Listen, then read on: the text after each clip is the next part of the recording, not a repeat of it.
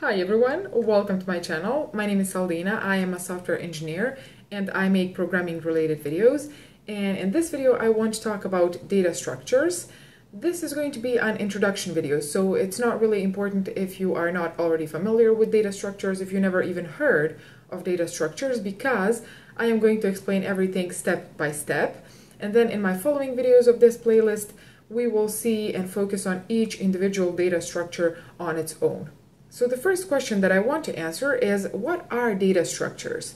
Well, a data structure is just a collection of data. So it is a collection of integers or characters or floats, doubles, or it can be some user-defined type, so classes.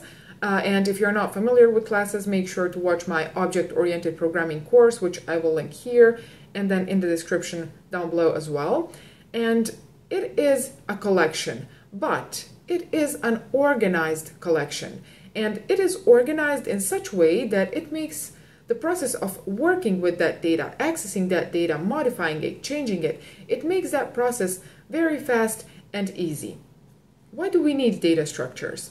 We need them because without data structures, our code would be much slower and then the process of working with our data would be much, much harder. So we organize that data into data structures and for this, I want to give you an example that I am pretty sure every single one of you is going to understand. So imagine the following situation. You wake up in the morning and you are running late for work or for school, so you need to get ready and you need to get dressed, but you need to do that very, very quickly. So you look outside to check the weather or you check it on your smartphone and you realize that it is sunny outside. So you decide that you will wear a t-shirt, pants, and then socks and shoes, and you will probably wear some accessories, things like a wallet, a watch, sunglasses, things like that. But then you realize that your clothes is not organized. So here is your clothes. Now my question for you is, how are you going to find those things that you need in this pile of clothes? And how long will it take? So this is a rhetorical question, and rather than answering this question, I want to give you an alternative instead. So imagine if your clothes were well structured and organized.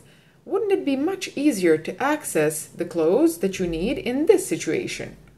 So again, as we said, you need gray t-shirt, blue jeans, gray shoes, socks, and then sunglasses, watch, and wallet.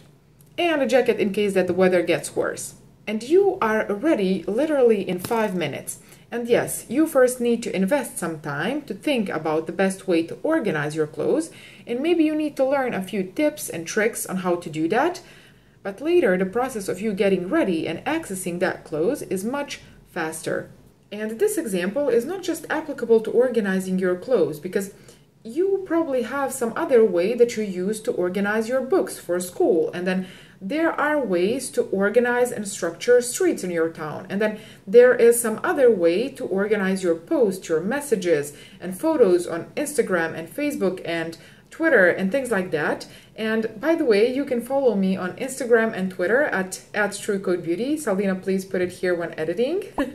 so as I said, you have different ways to organize different things in your real life. And the same way in programming, you would use a different data structure to organize data in different situations. And some of the examples of those data structures that we will see in my following videos are an array, a list, a stack, a queue, a graph, a hash table, and so on. And in my following videos, I will dedicate that specific video to each individual data structure so that you can learn advantages and disadvantages of that data structure and then you will learn some rules and tips and when to use a specific data structure. So if you enjoyed this video, please give it a thumbs up for the YouTube algorithm. By the way, we will be talking about algorithms on this channel as well because those are closely related to data structures. Uh, so if you don't want to miss any video that I publish, uh, you can subscribe to my channel and uh, press the bell icon because then you will be notified when I publish my next video. If you don't, no problem. Uh, thank you very much for watching and I am going to see you in my next video. Bye.